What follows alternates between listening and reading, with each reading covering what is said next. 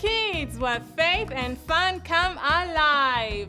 I'm with my friend Sandy Tianji here, and she has something special just for you, explorers. If today is your birthday, happy birthday from the M Kids. God loves me, God loves you, He can give you anything too. Awesome! So, do we have any new explorers? If you're joining us for the first time, we'd like you to tell us your name. So, just ask any adult you're with to help you type your name into the comments. We'd like to get to know you. All right? And now it's time for a Bible adventure to begin. And we always started by learning about giving. So, what is Jesus telling us about giving today? There's only one place to find out that from, and that's the Bible. I hope you guys have your Bibles with you. I'm just going to reach out for mine and reach out for yours too, all right?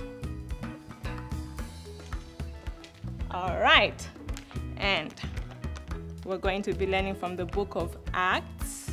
Remember that? Go to the book of Acts in chapter 20 and verse 35.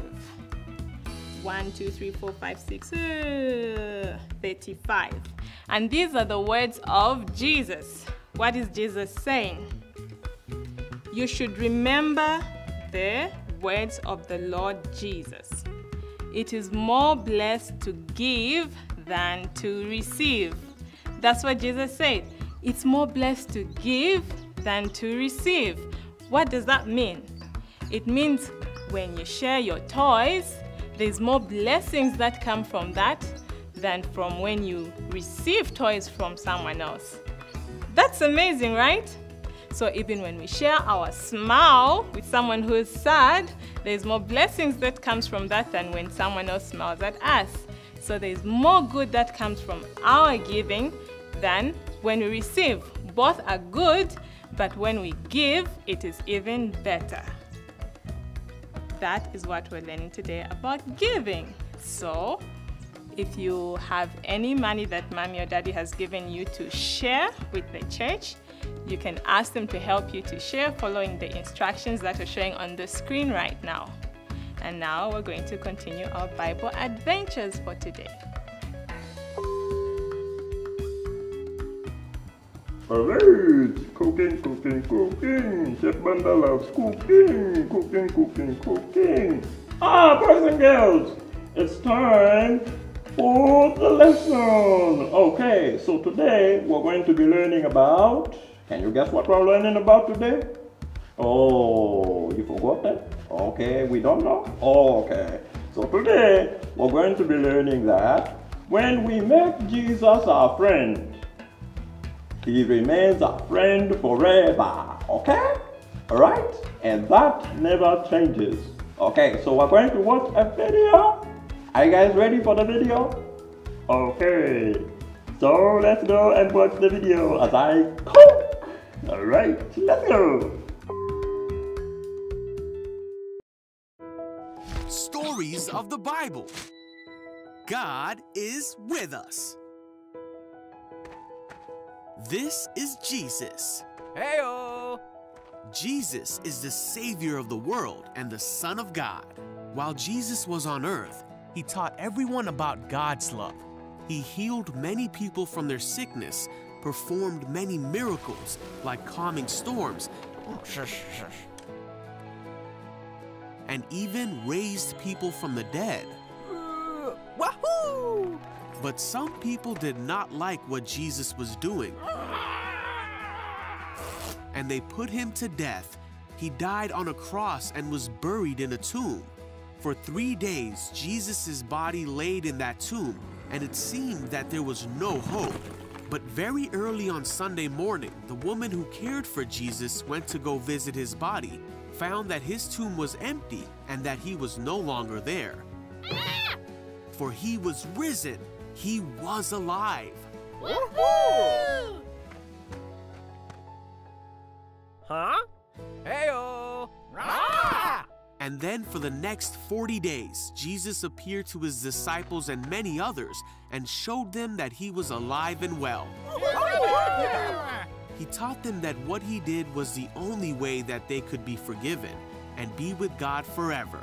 Jesus told his disciples that he did all the things that God had told everyone that he would do, and the disciples understood what he was saying. Yep, that makes sense.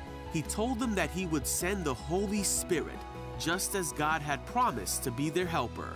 Sounds good. After Jesus had spent 40 days with the disciples and appeared to many people, Hey, that's it. he led the disciples to a place called Bethany. Jesus blessed the disciples and told them to go out and tell the whole world about him and the good news of forgiveness and make disciples of them. Then he said, Be sure of this I am with you always, even to the end of the age. Then Jesus was taken into heaven to sit at the right hand of God.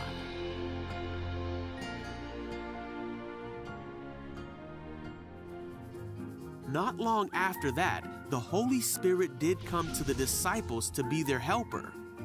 The disciples knew that God would truly be with them always. And the Holy Spirit is still with us today, for Jesus promised that He would be with us to the end of the age, and He is.